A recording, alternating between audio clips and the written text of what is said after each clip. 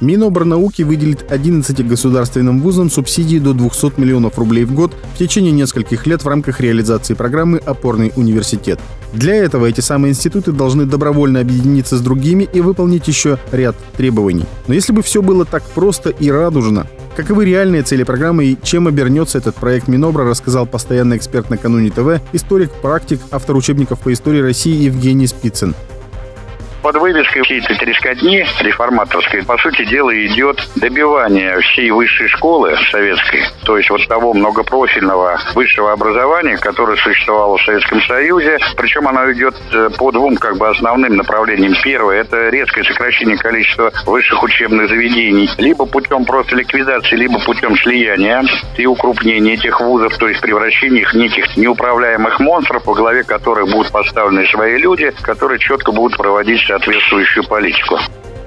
Вторая задача, по словам эксперта, разрушать советскую систему образования, чтобы она не воспроизводила научные школы, которыми гордился Советский Союз. В программе «Опорный университет» определены целевые показатели, при выполнении которых госвузы будут получать субсидии. Эксперт уверен, все это приведет к ухудшению качества преподавания и снижению качества образования. Эти показатели концентрируют все внимание руководства на платных услугах, внедрении фактически цензуры и устранении инакомыслящих научных работников и студентов смысл всей вообще вот этой вот политики, которую проводит министерство, заключается в том, чтобы максимально сэкономить вообще на системе образования. То есть, по сути дела, сделать из системы образования некую падчерицу. Но при этом громогласно заявлять, что для нас является приоритет образования, что человеческий капитал – это самый ценный капитал, который есть у любого государства и т.д. и т.п.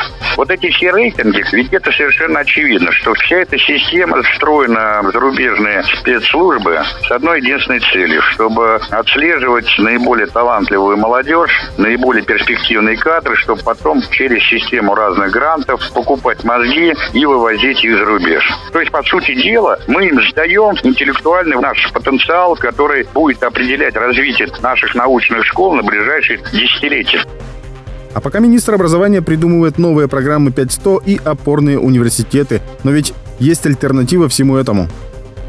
Во-первых, надо навести порядок, элементарный порядок в системе высшей школы. Немедленно провести тотальную проверку всех частных высших учебных заведений и так называемых филиалов, которые действительно являются шарашкиными конторами, где просто за деньги выдают дипломы. Второе. Отказ от баллонской системы образования и возвращение к нормальному пятилетнему высшему образованию. То, которое существовало в Советском Союзе, и то, которое готовило реальные кадры. Естественно, пересмотр всех программ образовательных. Причем не пересмотр этих образовательных программ на уровне каждого отдельного вуза, как сейчас это происходит, а на уровне государства. Должна быть создана авторитетная комиссия, которая должны создать эту программу или просто вернуться к старой советской программе.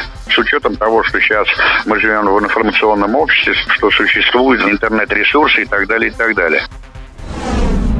В эфире была рубрика «Экспертное мнение» специально для Накануне ТВ. Подписывайтесь на канал Накануне ТВ и смотрите другие видео из рубрики «Экспертное мнение».